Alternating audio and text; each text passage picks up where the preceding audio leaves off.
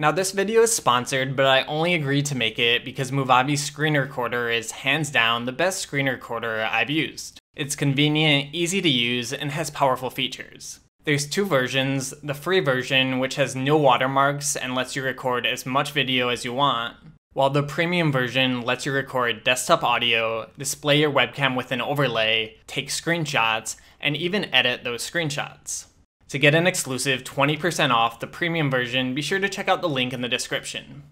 Okay, when you first open up Movavi's screen recorder, you'll see this widget on the side of your screen. The widget being there is really convenient and you can drag it to any side of the screen you want. You can even hide it until you need it by clicking the arrow. At the very top of the widget is a cog to open up the settings. Underneath that is a camera button for taking screenshots, and then you have the video recording button, let's start with that one. Now simply drag to select the part of the screen you'd like to record, or to record the full screen, just hit the spacebar on your keyboard. After you've made your selection, you can still move it around, and drag the corners to resize it. There's even an option to manually adjust the width and height if you're aiming for a specific resolution. On the right side of your selection, you'll find a button for capturing and displaying your keyboard strokes. Under that is a button to highlight your cursor, which is very valuable for making tutorials or educational videos. And the color of the highlight is fully customizable in the settings. And then there's a button that gives your cursor a little click animation whenever you click something. On the bottom of the capture, there's an option for turning on your webcam to enable an overlay. You can fully customize the size and position of the overlay in the settings.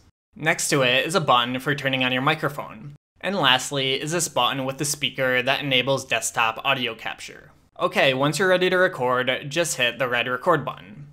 And I'll start playing back my YouTube video I want to record. While your video is recording, you can pause it at any point and continue recording when you're ready. It'll show up when you're finished as one seamless video. There's also the ability to take screenshots while your video records. Once you're finished recording, just hit stop to open up this new window. In here, you can trim the parts off of your video by clicking the cut button and dragging these handles to select the part of the video you'd like to cut out. Then make sure the playhead is anywhere inside your selection and simply hit the trash button to delete it. To take screenshots of your finished video, position the playhead to where you want to capture and then click the screenshot button. But let's say you're not satisfied with your initial recording, so to make another one, you'd go up to capture, start recording but I think mine looks fine, so I won't do that. Once you're done editing, you can either continue to edit it in Movavi Video Editor, or you can export it. When you click export, you'll have the ability to give it a new name and change its save location. You also might want to change the exported videos format. I'll leave mine as MP4 since that's the most common file type. When you're done, click save to finish the process, and then you'll get the option to view the save location of your new video. Alright, and there's a recording I just made from YouTube. Okay, next I'm going to close out of here and move to a different part of the video to show you the screenshot feature. To take a screenshot, click the camera at the top of the widget. Just like the video capture, drag to select the part of the screen you'd like in the shot. And of course, you can reposition it and rescale it as you see fit. Alright, the cool thing about the screenshot tool is that you can mark up your image right when you take your screenshot. Now there's all kinds of options like the ability to highlight stuff, which is really useful for highlighting text like this part number. You also have the ability to draw different shapes, or you can draw lines.